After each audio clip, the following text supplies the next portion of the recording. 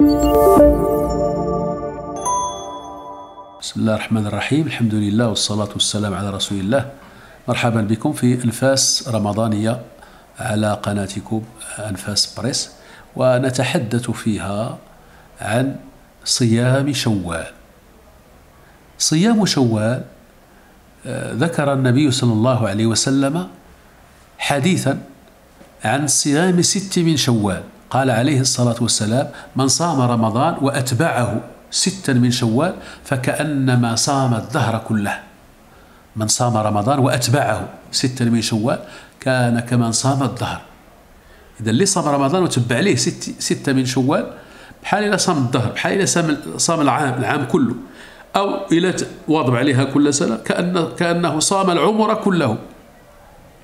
وبعض العلماء قالوا وهذا يوافق آه الآية أن الحسنة بعشر أمثالها لأن رمضان 30 يوم 300 ضربها في 10 300 وست أيام يعني ضربناها في 10 هي 60 يوم. إذا 360 يوم بحال صمتي العام كل العام كله. ثم القضية ديال أتبعه كاين اللي فهمها أنه أتبعه تكون متابعة مع رمضان. بمعنى بمجرد ما تسالي رمضان وتصوم نهار وتفطر نهار العيد تبع عليه ست أيام ديال شوال. أتبعه هناك من فهمها هكذا. ولكن آه، لا, يعني هذا الفهم هذا ماشي هو الصحيح فقط وإنما يجوز إتباعها بأن تصومها مباشرة بعد العيد ويجوز أن تفرقها. مثلا تصوم الاثنين والخميس في شوال كتجمع ما بين الاثنين والخميس وكتجمع ما بين آه، ما بين شوال. أو تصومها مع الأيام البيض وكتجمع ما بين ست أيام ديال شوال والأيام البيض وهكذا. بمعنى أن اتبعه لا يعني لا يعني أن تتبعه مباشرة. وبهذه المناسبة كاين بزاف ديال النساء كيطرحوا واحد السؤال.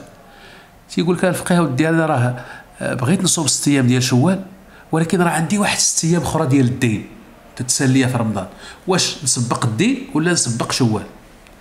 هنا كنقولوا للمرأة إلا كان عندك استطاعة أنك تجمعي كل شيء ممكن تسبقي الدين وتتبعي ليه ست أيام ديال شوال وتكملي كل شيء في شوال. ولكن الا خفتي أنك انتهي شوال وما صمتيش ست أيام ديال شوال. وبغيتي الفضل ديال هاد ست أيام راه ممكن تسبقي ست أيام ديال شوال وتوخري الدين لأن الدين عنده العام كامل. فمعنى هذا أن آه، هاد ست أيام عندها فضل والإنسان إذا اجتهد فيها الحمد لله كيفوز بهذا الفضل العظيم الذي آه، أوضحه لنا رسول الله صلى الله عليه وسلم. نسأل الله تعالى أن يرزقنا وإياكم من فضله آه، العظيم. والحمد لله رب العالمين.